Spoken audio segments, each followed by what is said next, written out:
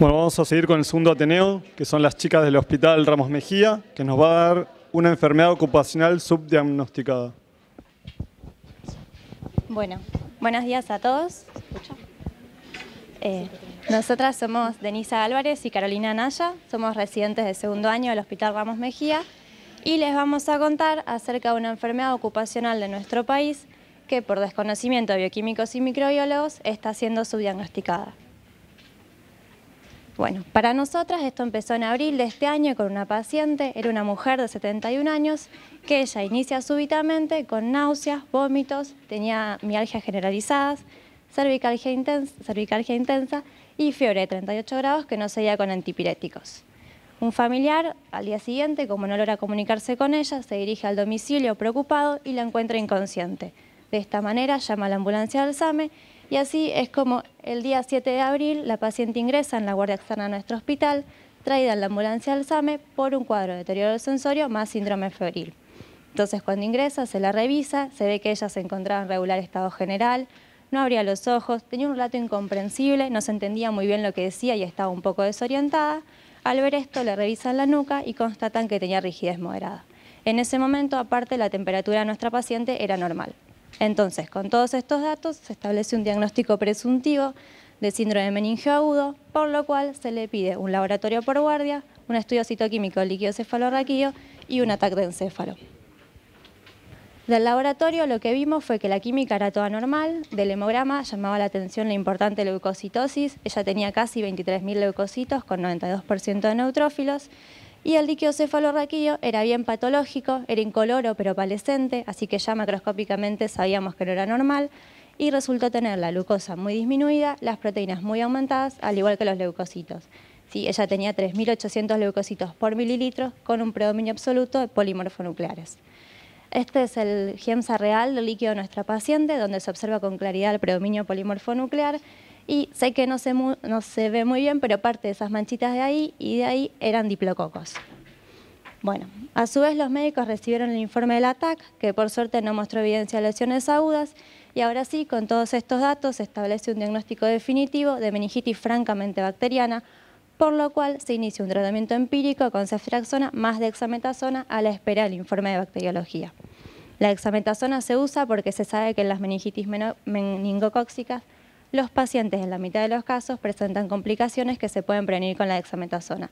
Entonces, al saber que se trata de una meningitis bacteriana, se usa la dexametasona y se espera el informe de bacteriología. Si ahí dice que se aisló, por ejemplo, un meningococo, la dexametasona se retira. Si se aisló un streptococcus neumoniae, la dexametasona se deja.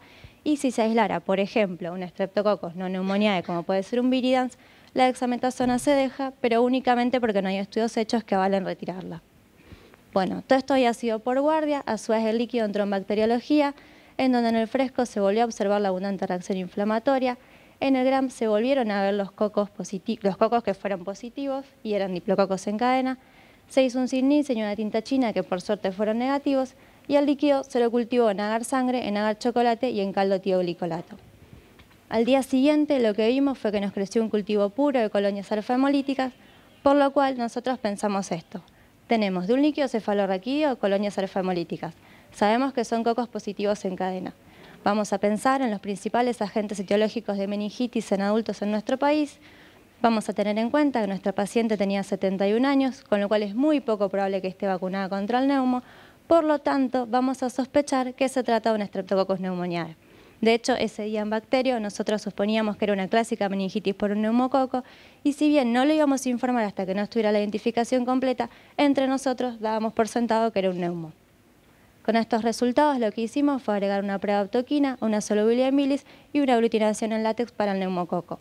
A su vez, como nosotros tenemos un Vitec 2, en paralelo pasamos nuestro aislamiento por el Vitec, que al cabo de 7 horas nos dijo que en realidad se trataba de un Streptococcus suis. Y esa fue la primera vez que Denny y yo escuchamos acerca del Streptococcus. De paso les cuento que la optoquina fue resistente, la solubilidad negativa y la prueba de aglutinación de látex había dado negativa. Bueno, por si hay alguien más que no sabe lo que es el Streptococcus suis, como no sabíamos Denny y yo en ese momento, se los vamos a contar. El Swiss es un coco gran positivo, del cual existen 35 serotipos diferentes según la composición de los polisacáridos de su cápsula, De esos 35 serotipos, solamente 4 son los de importancia clínica y dentro de esos 4, el que aislamos con mayor frecuencia es el serotipo 2. El SWIS es un importante patógeno del ganado porcino, de hecho es el segundo patógeno más importante en los cerdos, y en los últimos años se ha convertido en un agente zoonótico emergente. También es un potencial patógeno de humanos. En el cerdo, entonces, puede colonizar el tracto respiratorio, digestivo y genital, esto hace que haya transmisión vertical entre los cerdos, y también se lo encontró en otros animales, como pueden ser perro o gato, pero estos fueron excepcionales. Se lo encontró tanto en caso de portación como de infecciones, pero son excepcionales. En realidad, el reservorio principal y natural del Streptococcus suis son los cerdos. Entonces, al cerdo lo puede colonizar a lo largo de toda su vida o le puede provocar una infección, sobre todo frente a un factor desencadenante. La infección puede darse en cualquier etapa de la vida del cerdo, pero se ha visto que si ocurre en los primeros seis meses de vida, lo que se aísla con mucha mayor frecuencia es el serotipo 1, que raramente lo encontramos en humanos. Pasados los seis meses de vida del cerdo, si éste se enferma por una Streptococcus suis, se aísla con mucha mayor frecuencia el serotipo 2, que a su vez es el que aislamos en el 95% de las infecciones humanas por Streptococcus suis. En el cerdo, entonces, puede provocar una amplia gama de infecciones. Las más importantes son meningitis, endocarditis y artritis. El animal puede morir a causa de un shock séptico por esta bacteria y es muy difícil darse cuenta que está infectado por un Swiss porque no tiene ningún signo característico. Es mucho más difícil darse cuenta si tiene una meningitis por Streptococcus suis porque el periodo de incubación es muy corto, son solo 24 horas. Por lo tanto, debemos sospechar que hay un brote por Streptococcus suis si aparecen varios cerdos muertos que aparentaban estar en buen estado de salud. En caso de que el cerdo sobreviva a una meningitis por el Swiss, es muy probable que quede con secuelas como pueden ser ceguera o postura normal de la cabeza. En caso de los seres humanos, la infección por Streptococcus suis va a ser de tipo accidental y la principal vía de entrada son las heridas en piel y mucosas de personas que estén en contactos con cerdos o con sus productos cárnicos, es decir, eh, personas que trabajan con ganado porcino, veterinarios y parrilleros. También Existe, existe otra vía de entrada a la cual todos estamos expuestos si consumimos carne de cerdo, que es la vía digestiva. Esto va a ser si ingerimos carne mal cocida o cruda. En el caso de nuestra paciente, al interrogatorio refiere trabajar en una marroquinería en mataderos, cociendo cueros, por lo cual eh, creemos que podría ser una posible vía de entrada. En cuanto a las patologías que causan el ser humano, son iguales que las del cerdo, con una mayor prevalencia de meningitis, en el 80% de los casos causa meningitis purulenta, pero también se aislaron casos de neumonía, endocarditis, artritis y hasta shock séptico. En cuanto a los signos, síntomas clínicos de la neumonía, de la meningitis, perdón, por este son comunes al resto de las meningitis bacterianas. Es decir, fiebre alta, dolor de cabeza, escalofríos, náuseas, vómitos, vértigos, seguido de pérdida de la audición, ataxia, dolor articular, parálisis facial y hasta mialgias severas. Es decir, todos estos signos clínicos son inespecíficos y no nos van a orientar a que se trate de una meningitis por, por Streptococcus suis. Y lo que me gustaría resaltar es que si bien la mortalidad de esta meningitis es baja, y solo del 7%, comparado con otras meningitis bacterianas, en más de la mitad de los pacientes deja secuelas neurológicas, fundamentalmente pérdida de la audición.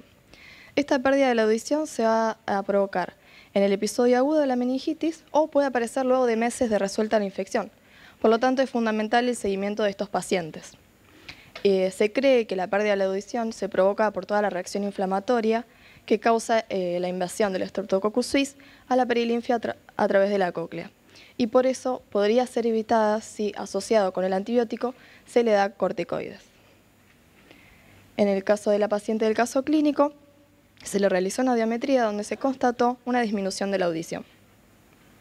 Eh, bueno, para explicar un poco cómo es que este microorganismo causa todas estas patologías, debo nombrar los factores de virulencia eh, descriptos en cepas aisladas principalmente de organismos enfermos.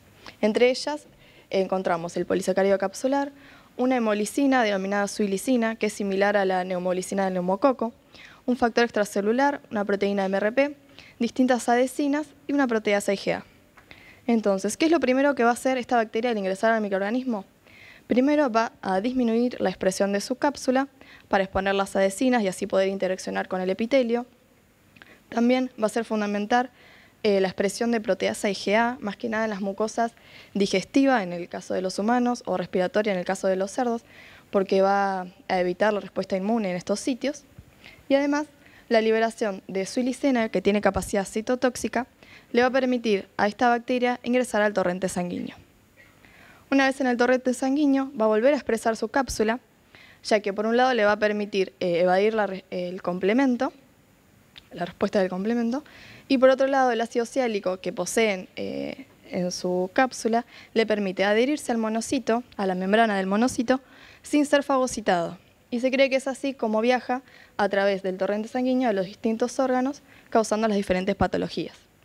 En el caso de la meningitis, una vez que llega a la, barrera hematoencefálica, va a producir lo mismo que al principio, va a disminuir la expresión de su cápsula, así expresa las adhesinas y puede interaccionar con esta barrera, y eh, secreta su ilicina, que produce la necrosis de las células y le permite entrar a, las meninges, causando la reacción inflamatoria característica de la meningitis.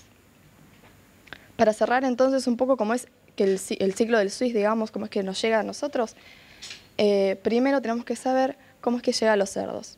Estos se contagian a través de otros cerdos enfermos o portadores de Streptococcus suis y además se vio que hay reservorios extraanimales como residuos fecales, polvo ambiental o agua a través de los cuales también se pueden contagiar. La principal vía de entrada en el caso de los cerdos, a diferencia de los seres humanos, va a ser la vía respiratoria, es decir, a través de la boca y la nariz va a llegar a las amígdalas donde puede eh, permanecer en estado de portador o, si se dan las condiciones, puede causar, eh, se puede diseminar a través del organismo y causar las diferentes patologías. Una vez que el cerdo eh, entró en contacto con el Streptococcus suis, ahí entramos nosotros a este ciclo a través del cual si manipulamos tanto cerdos como sus productos cárnicos crudos y tenemos heridas expuestas en la piel o si ingerimos carne cruda, eh, le vamos a proporcionar las dos vías de entrada posibles a este microorganismo y nos van a causar principalmente, como les dije, meningitis. Bueno, Streptococcus en el mundo. En este mapa lo que vemos es la distribución del ganado porcino en el mundo. ¿sí? Aquellas zonas que están en verde oscuro son las que tienen mayor densidad de población de cerdo y las que están más claritas son las que tienen menos. Como vemos en Asia se registra una zona muy importante que está en verde oscuro. Ellos tienen una alta densidad de población de cerdos. De hecho, China es el mayor productor de ganado porcino en el mundo. Y tal como esperaríamos, en esta zona se registra el mayor número de infecciones humanas provocadas por el Streptococcus suis. De hecho, el SWIS es la primera causa de meningitis en Vietnam, la segunda en Tailandia y la tercera en Hong Kong. Así que como vemos, en Asia es uno de los principales agentes etiológicos de meningitis, mientras que nosotros prácticamente ni lo consideramos. Después podemos ver que Europa también está en verde oscuro, también tiene una alta densidad de población de cerdos y tal como esperaríamos, ellos son los segundos en registrar mayor número de infecciones por Streptococcus suis. Eh, acá una salvedad, no es toda Europa, sino que son solo cuatro países. ¿sí? Entonces tenemos tres países de Asia seguido de cuatro países de Europa. Después, si miramos el continente americano, vamos a ver que Estados Unidos tiene una zona que está en verde oscuro. Eh, les cuento, Estados Unidos y Canadá juntos representan al segundo mayor productor de ganado porcino en el mundo, vienen después de China, con lo cual uno esperaría que en lo que respecta a infecciones humanas por Streptococcus suis vinieran después, o después de los tres países de Asia o después de los cuatro países de Europa. Sin embargo, esto no es así. Después de los cuatro países de Europa, el quinto puesto lo ocupa Argentina, lo cual es muy llamativo porque si miramos nuestro país está bastante clarito, ¿sí? nosotros no tenemos una gran producción de ganado porcino, por ende nuestra densidad de población de cerdos es baja. Sin embargo, ocupamos el quinto puesto después de los cuatro países de Europa. De hecho, el primer registro de una infección humana por Streptococcus en toda América Latina fue en Argentina. Entonces, de mirar este mapa nos surgen dos interrogantes. Uno es, ¿por qué si Estados Unidos y Canadá son grandes productores de ganado porcino, registran un número relativamente bajo de infecciones humanas por Streptococcus suis? Y a la inversa, ¿por qué si Argentina no es un gran productor de ganado porcino, sí tiene un número de infecciones humanas relativamente alto, sobre todo considerando su pobre densidad de población de cerdos? Para explicar eso, primero les voy a contar que dentro de lo que es el Streptococcus suis serotipo 2 existen diferentes clones.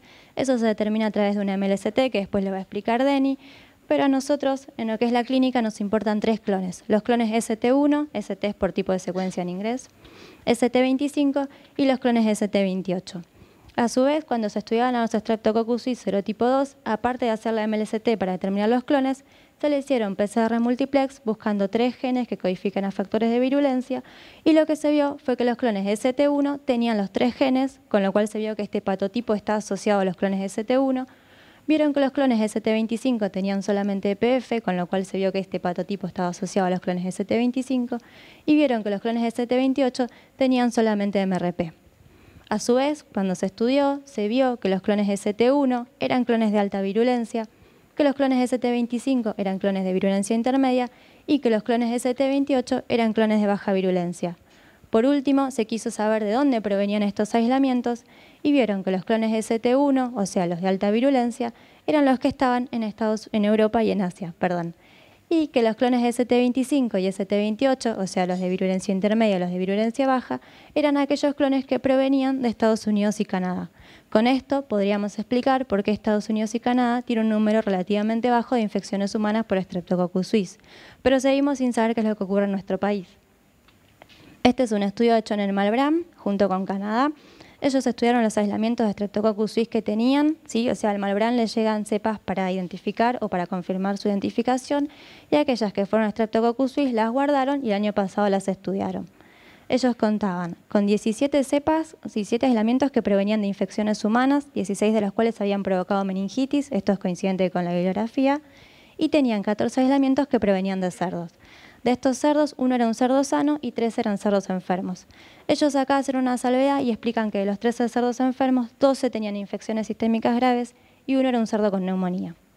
Bueno, entonces estudiaron todos estos Streptococcus suis y lo que vieron fue que los 17 que habían provocado infecciones humanas, 16 eran serotipo 2. El otro creo que fue serotipo 5. Y de los 14 aislamientos que estaban en cerdos, los 14 fueron suis serotipo 2.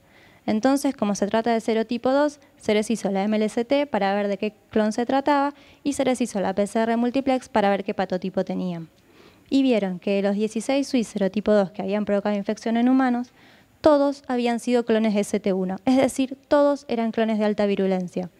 Y de los 14 suis serotipo 2 que estaban en cerdos, 12 fueron clones de alta virulencia.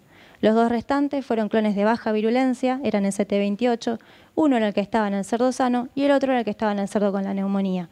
Y acá tenemos que recordar que el Streptococcus suis coloniza el tracto respiratorio de los cerdos, por lo tanto, aislar un Streptococcus suis de una muestra respiratoria de un cerdo que tiene neumonía no significa que necesariamente sea el agente etiológico de la infección. Por último, hicieron la PCR multiplex para ver qué patotipo tenían estos clones y ellos vieron que todos los clones ST1 estudiados tenían el patotipo asociado, es decir, todos tenían los tres factores de virulencia.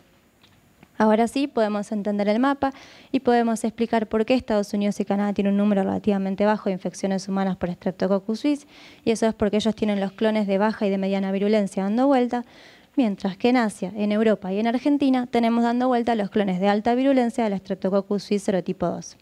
De todas formas, no terminamos de explicar por qué en Asia el Swiss es uno de los principales agentes etiológicos de meningitis y no ocurre lo mismo en Europa o en Argentina. Y eso es porque en Asia tienen la costumbre de comer los alimentos poco cocidos o incluso crudos, entonces para ellos se trata de una enfermedad de transmisión alimentaria. Nosotros, por suerte, no tenemos esos hábitos. Si los tuviéramos, tendríamos un número de infecciones humanas mucho mayor del que tenemos. Y en realidad, en nuestro caso, se trata de una enfermedad ocupacional. En nuestro país, las personas que se enferman por Streptococcus suis son aquellas que tienen contacto directo con los cerdos o con sus productos derivados, como puede ser un criador, un veterinario o un parrillero o un carnicero. Sí, no tenemos que pensar que es una enfermedad rural. De hecho, nuestra paciente vivía en Capital, vivía muy cerca de nuestro hospital. Bueno, ¿y por qué buscamos al Streptococcus suis? Por un lado, porque a partir del 2013 la Red Nacional de Meningitis e Infecciones Respiratorias Agudas Bacterianas lo incorpora en la red de vigilancia y de esta manera se trata de alertar a los bacteriólogos para que en caso de que una muestra tuviera un Streptococcus suis se llegue a la correcta identificación. Esto lo va a explicar bien Denis. Y por otro lado, porque como las meningitis por Streptococcus suis dejan secuelas en los pacientes, el paciente tiene derecho a reclamar la pensión por discapacidad, pero sobre todo tiene derecho a pedirle a la RT que se haga cargo de su tratamiento y de sus secuelas en caso de que hubieran. Y acá tenemos que recordar que la secuela puede aparecer en el momento agudo de la meningitis o puede aparecer varios meses después. Entonces, si nosotros no habíamos identificado correctamente que se trataba de un Streptococcus suis, cuando meses después aparezca una secuela, no se lo va a asociar a la meningitis por Streptococcus suis, por ende no se lo va a asociar a una enfermedad ocupacional y finalmente la RT no se va a ocupar de ese paciente. Bueno, ya llegando a hacer cómo buscamos al Streptococcus suis en el laboratorio de bacteriología, Primero que nada, cuando nos llega una muestra de líquido cefalorraquídeo y la cultivamos en los distintos medios y al cabo de 24 horas nos, crece una colonia alfa hemolítica, lo primero que vamos a pensar, como dijo Caro, es un neumococo. Por lo tanto, las pruebas que le vamos a alargar son optoquina y solubilidad en bilis. Si la optoquina y la solubilidad en bilis nos da eh, sensible y positiva respectivamente, ya seguimos la tipificación eh, para el lado del Streptococcus pneumoniae. Ahora bien, si nos da optoquina resistente y solubilidad en bilis negativo, debemos proseguir con la marcha eh, para el grupo Streptococcus viridans. En este caso, me gustaría resaltar no olvidarse de agregar estas dos pruebas, Boges-Proskauer y arginina deshidrogenasa. En cuanto a la marcha, si nos da catalasa negativo, vancomicina sensible y crecimiento en cloruro de sodio del 6,5% negativo, seguimos pensando que se trata de un Streptococcus viridans. Pero si al agregar estas dos pruebas que les mencioné, ADH y BP, nos dan positivo y negativo respectivamente, dentro de lo que es el grupo Viridans nos van a quedar solamente estos tres microorganismos que dan esta marcha, que son muy poco frecuentes. Y además, el otro microorganismo que da este perfil es el Streptococcus suis. Por lo tanto, debemos sospechar fuertemente que se trata de una infección por esta bacteria. Acá es fundamental la anamnesis con el paciente, preguntarle si tuvo contacto con cerdos y si se la sospecha se confirma, derivarlo. Y acá me gustaría aclarar que la mayoría eh, de los laboratorios que trabajan de forma manual no agregan estas dos pruebas ADH, o sea, no las tienen en cuenta, y BP, por lo tanto decimos que la infección por Streptococcus suis está subdiagnosticada.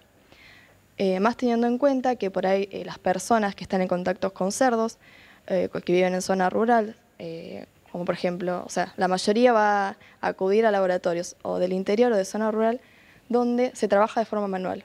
Y estas dos pruebas no se hacen, por lo tanto, va a quedar como que es un Streptococcus de grupo Viridans y no un Streptococcus el que esté causando esta patología. En cuanto a los métodos automatizados, eh, todos tienen una buena identificación de especie y solamente nos quedaría confirmar el serotipo si queremos, más que nada por una cuestión epidemiológica, para lo cual deberíamos derivarlo al Servicio de Bacteriología Especial del Malbram. Este es el informe que nos llevó a nosotros de la cepa que derivamos al Malbrán, donde se constata que es un Streptococcus suis, pero no nos dice nada del serotipo. Esto es porque en el Servicio de Bacteriología Especial del Malbrán, la doctora Mónica Prieto lo primero que va a hacer es confirmar la especie por pruebas bioquímicas convencionales y por espectrometría de masas a través del Malditov. Y por otro lado va a ser una PCR utilizando primers que solamente van a amplificar el serotipo 2 del Streptococcus entonces, si bien nuestra cepa amplificó con estos primers, no podemos decir oficialmente que se trata de un serotipo 2, porque si recordamos, la serotipificación eh, tiene en cuenta eh, los antígenos capsulares de, de las bacterias. Pero bueno, con este dato y sumado a la PCR múltiple que se le hizo, donde dieron positivo los tres factores de virulencia, podemos sospechar fuertemente que se trata del clon que está circulando en Argentina, el clon ST1. Para confirmar el serotipo, entonces lo que se hace, generalmente eh, una vez al año, se derivan las cepas a Canadá, donde en Canadá eh, hay un argentino, Marcelo Gottschalk, que resulta ser el director del Laboratorio Internacional de Referencia para Streptococcus suis, donde se va a hacer la serotipificación mediante aglutinación, se enfrentan las cepas a 35 antisueros policlonales. Además, se vuelve a confirmar el patotipo, se hace una secuencia del genoma completo y se identifica de qué línea clonal se trata a través de MLST. Entonces, para explicar brevemente por qué hablamos de líneas clonales, les quería comentar que este análisis se basa en la amplificación de secuencias de genes housekeeping que codifican para enzimas metabólicas que no están sometidas a presión selectiva. Por lo tanto, nos permite detectar eh, líneas clonales relativamente estables. Entonces, luego de la amplificación por PCR de 7 genes, eh, se los va a secuenciar, con esto se consigue un perfil alélico, eh, el cual se va a ingresar a una base de datos por internet y nos va a devolver de qué tipo de secuencia se trata. Ahí, bueno, les di como ejemplo las siete enzimas que se utilizan en el caso de Streptococcus suis y el ST1, que es el clon que está circulando acá en Argentina, tiene ese perfil alélico. Bueno, ya llegando al tratamiento, una vez diagnosticada la meningitis por este microorganismo, eh, la base va a ser eh, la administración de penicilina, es la droga de elección, sumada a dexametasona. Y solamente se va a estudiar la sensibilidad de este microorganismo eh, si se lo requiere, es decir, si el paciente no responde al tratamiento que se le está dando. En dicho caso vamos a utilizar los puntos de corte del CLCI para Streptococcus no pneumoniae. Y eh, bueno, quería aclarar que solamente se encontraron algunas cepas resistentes aisladas de cerdo. En humanos todavía no se encontraron cepas resistentes. En el caso de la paciente, de nuestro caso clínico, completó el esquema antibiótico con TMS porque tenía alergia a la ceftriaxona Evolucionó favorablemente y el día 21 de abril de este año se le dio de alta, con seguimiento por consultorios externos. Además, tenía indicada una audiometría a la cual todavía no concurrió, así que no sabemos si evolucionó favorablemente o si empeoró, su situación auditiva. En cuanto a la prevención, eh, más que nada aquellas personas que trabajan con cerdos, eh, si registran un animal enfermo por este microorganismo, hay que separarlo inmediatamente del resto. Y por otro lado sería eh, fundamental las medidas preventivas de aquellas personas que por cuestiones laborales estén en contactos con cerdos o subproductos derivados. Más teniendo en cuenta que en nuestro país tenemos los clones de alta virulencia. Y no debemos creer que nosotros estamos exentos a esta infección por no trabajar directamente con ganado porcino, ya que como sabemos, el consumo de carne mal cocida o si nos cortamos o tenemos heridas expuestas al, manipular estas carnes, también le estamos proporcionando una vía de entrada a este microorganismo. Y bueno, ya llegando a las conclusiones, podemos decir que el Streptococcus suis debe ser considerado un potencial agente eh, etiológico de infección, más en pacientes de zona rural o en pacientes que estén en contacto con cerdos o sus productos, que la correcta identificación por nuestra parte de este microorganismo es fundamental, ya que va a impactar directamente sobre la calidad de vida del paciente, porque, como dijimos, es una enfermedad ocupacional y eh, el paciente tiene derecho a reclamar el subsidio por discapacidad y a reclamar una total cobertura de su tratamiento por parte de la ART. Además, tenemos la responsabilidad como bioquímicos de, alertar a los médicos que no se trata de una clásica meningitis no neumocóxica, ya que tiene asociados en un alto porcentaje eh, secuelas. Y bueno, frente, frente a estas secuelas, el médico debería tomar eh, diferentes medidas preventivas, como eh, el uso de dexametaxona, además del seguimiento del paciente con audiometrías a posteriori. Y bueno, más que nada lo que me gustaría que se lleven de este Ateneo, además de conocer un poco más del Streptococcus suis, es que si estamos trabajando en un laboratorio de forma manual y nos llega un líquido cefalorraquídeo en el cual nos crecen colonias alfa hemolíticas que no corresponden a un neumococo, deberíamos llegar a la correcta tipificación, llegar al final, no quedarnos con que es un Streptococcus grupo viridas, eh, si es necesario derivarlo, porque esto va a impactar directamente en la calidad de vida del paciente. Bueno. Esta es la bibliografía consultada y queríamos agradecer a la bioquímica Laura Derdoy del Servicio de Bacteriología de nuestro hospital, a la, doctora, Mónica Prieto del Servicio de Bacteriología Especial del Malvern y fundamentalmente a nuestros compañeros residentes y residentes que nos acompañaron en todo el proceso de Corevia. Gracias.